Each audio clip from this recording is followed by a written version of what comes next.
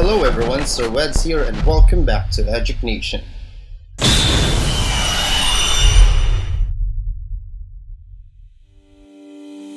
A number of schools use the Google Forms platform in distributing their learners' enrollment and survey form.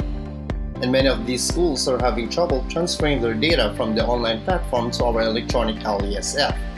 So today, we're going to show you the most basic steps in resolving this problem. This process is, as far as I know, the most efficient way of resolving this problem that can be followed by our novice MS Excel users. In other words, the steps here are designed to specifically teach our school personnel who are not that well versed with MS Excel.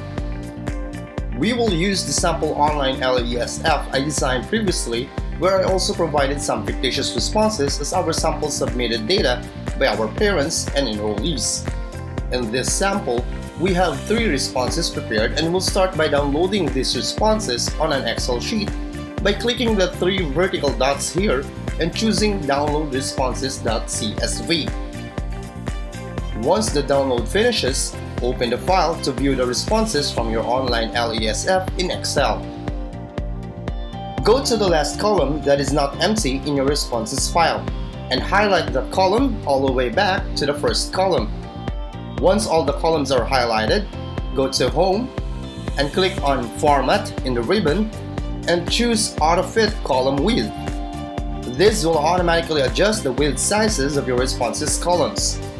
Now, open your electronic LESF as well and adjust its window to fill the bottom half of your screen like so.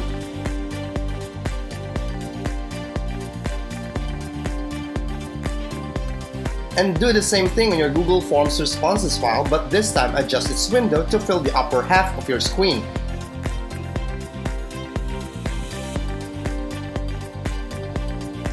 This way, you can see both of your files at the same time on your desktop screen. In your electronic LESF, go to your summary database sheet. Click on the View tab and check the Headings option.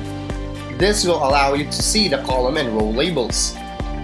If you still have the sample entry in your electronic LESF as shown here, highlight the whole entry by clicking the number 5 row and pressing Delete on your keyboard. With that, our electronic LESF and Google Responses file is now ready for data fetching. We will now fetch the data required from our electronic LESF based on the item responses in our Google Forms. What we need to remember is that the online Google Form LESF your school designed must have an accurate text format with what is prescribed in DepEd Order Number 7 Series of 2020. This mock design I made didn't have a school year question. That is why we don't have a school year item here in our Google form. So we'll just have to fetch the next item, which is the last name, followed by the first name, middle name, and extension name. As you can see here in our online file, the items in our electronic LESF are not placed in the exact column together.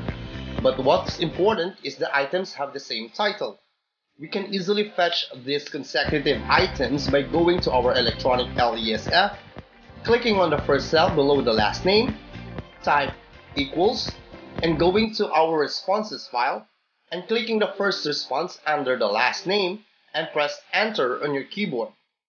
And since this formula is referring to an absolute reference on that cell, we cannot populate it to other cells. So we need to convert it into a relative reference cell.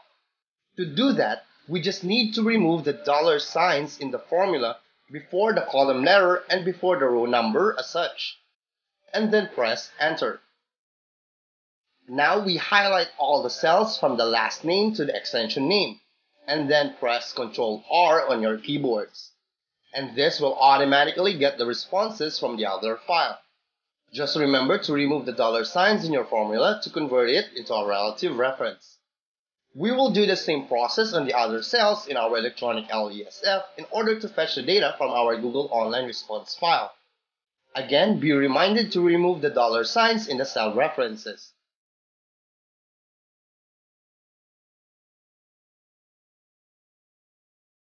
In the birth date, age, and sex items, once you fetch the data like so, you will see that the data under the age column is not formatted correctly as a whole number.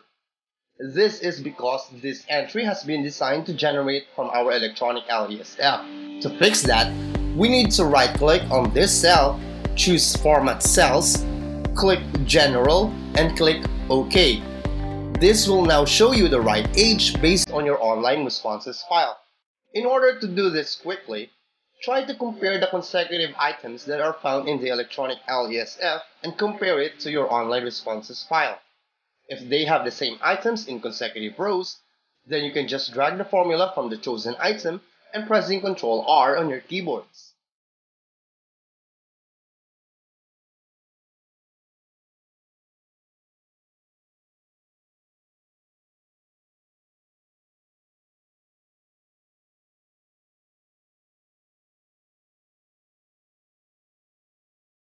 Under the instructional support within the household, the electronic LESF credits all possible choices and responses under one specific column.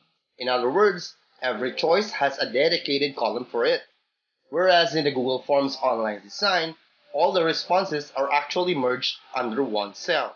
That is why we need to identify if the title items here in our electronic LESF are actually found in our online responses file. This is why it is very important that the converted online survey questionnaire must have the same options as found in DepEd Order Number 7, Series of 2020. To fetch these responses, we need to use a different formula. So, we click on the first cell under the parents slash guardians item. Type equals, find, open parenthesis, click on the title, which is parents slash guardians, type a comma, then click on the first response in our online responses file and press error. Do not worry if the generated result is an error. This actually means that the said item, which is parents slash guardians, isn't found in the first response of our online responses file. Now click on that cell again and highlight all cells under these item choices and press Ctrl R on your keyboard. As you can see, the check marks generate correctly on our first row responses.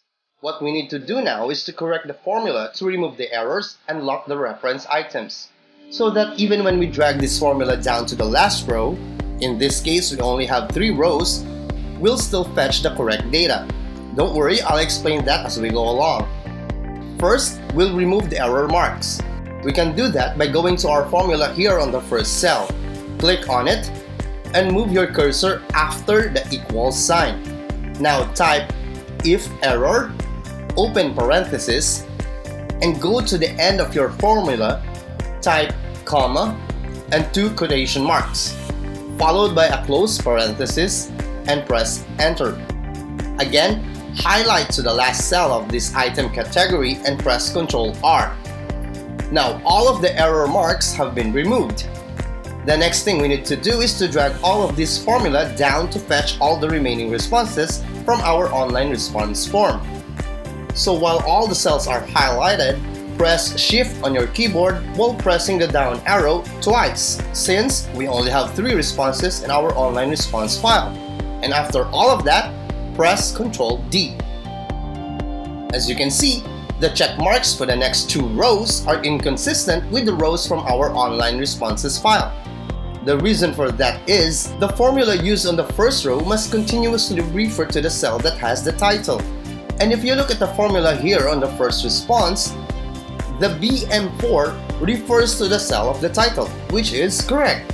Yet, if you look at the formula here on the second response, the cell it is referring to now is on BM5, when in fact it must be referring to the title. The same case on the other formula found in these other cells.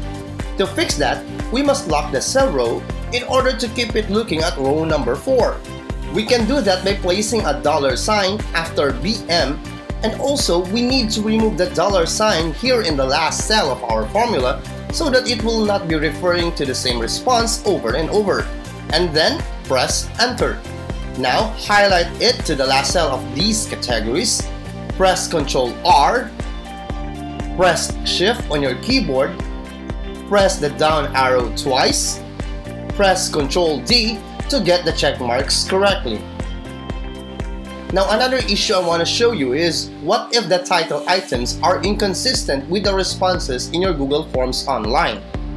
Example, here in our electronic LESF, the title is Extended Family Members. But in the Google responses, it says Extended Members of the Family. This would mean that there must be a check mark here on the second cell below this item.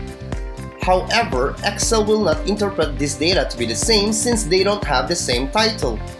And if you have about 10,000 responses in your Google Forms, you can change all of the responses into the title item here in the electronic LESF. That would take so much time. However, what we can do is, we will edit the title to have the same response used in your online Google form. As such, we change this item to Extended Members of the Family exactly the same as what is found in the responses in your Google Online Response file. And this will automatically fix the check marks.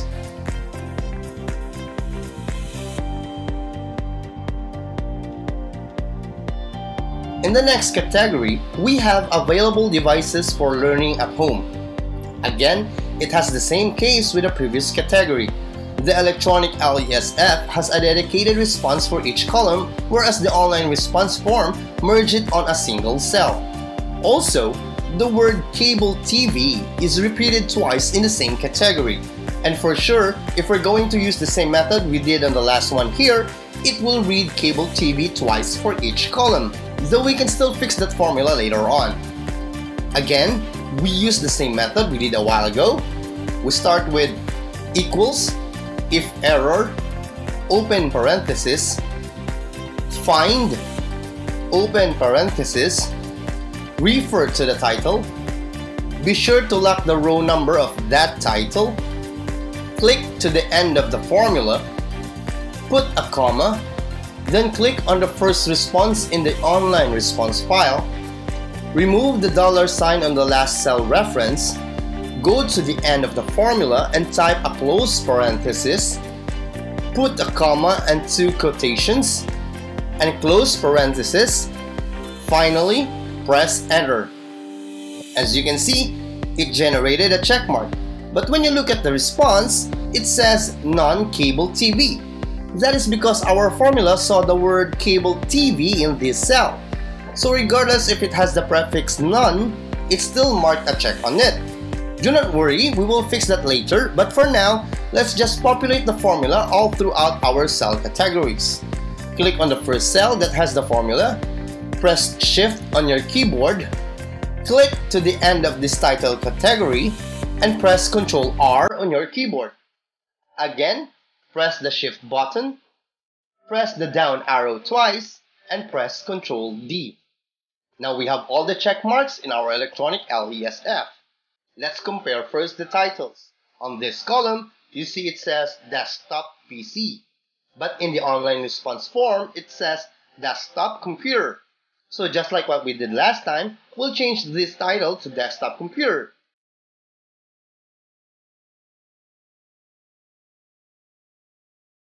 Now that fixes the checkmark generation there. Finally, let's fix the cable TV item issue here. Click on the first cell and go to the function symbol beside the formula bar and click on it. You will see that the formula result says 5. This means that the word cable TV is found by Excel to be on the fifth character on our response file, which basically says that the prefix none was recognized to be the first four characters. Thus, in order to correct this problem, we need to put a condition in our formula to start looking for the word cable TV on the first character and not on the fifth character. Ergo, we'll just click OK here and go to our formula.